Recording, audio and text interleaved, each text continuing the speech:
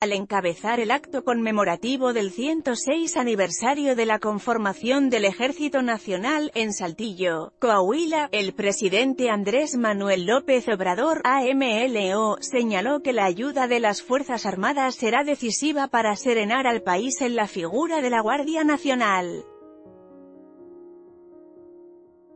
Llamó al Poder Legislativo a aprobar la reforma constitucional que daría marco para que las Fuerzas Armadas realicen legalmente actividades de seguridad pública.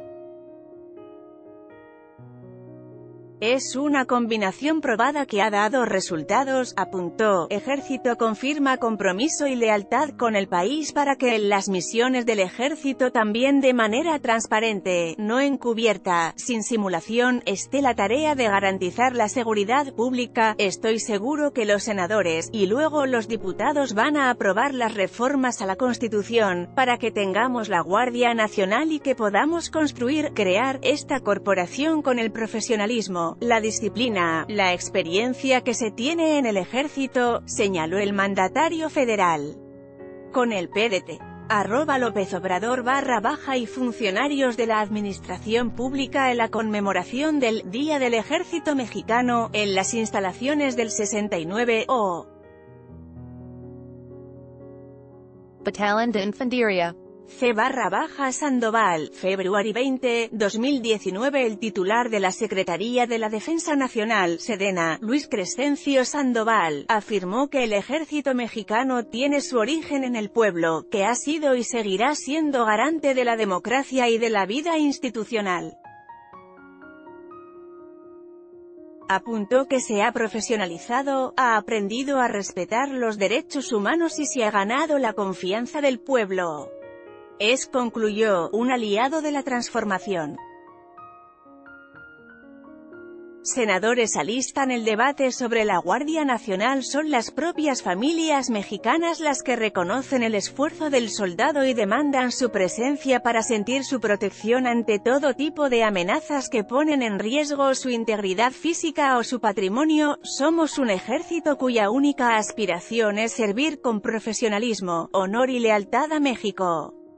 Un ejército que hace equipo con la Armada y la Fuerza Aérea en el servicio a la nación. Un ejército que da todo por la patria y es aliado de la transformación que ha emprendido el gobierno de México para lograr el desarrollo, la paz y el bienestar social de los mexicanos y las mexicanas, apuntó el general secretario. El gobernador Miguel Ángel Riquelme dio su respaldo total al proyecto de combate a la inseguridad del presidente, incluida la creación de la Guardia Nacional, una fórmula que, dijo, ha traído progreso y tranquilidad al Estado. La seguridad, enfatizó, es una responsabilidad de los gobiernos en los tres niveles.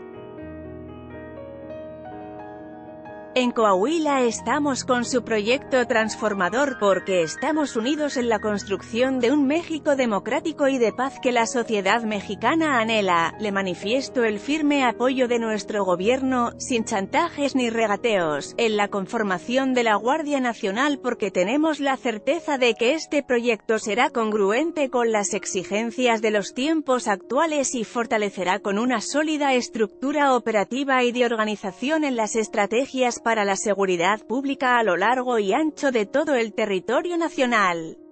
Desde aquí, en el Día del Ejército Nacional, hacemos un llamado a las senadoras y senadores para que esta misma semana podamos tener conformada esta nueva estructura policial, dijo el gobernador de Coahuila.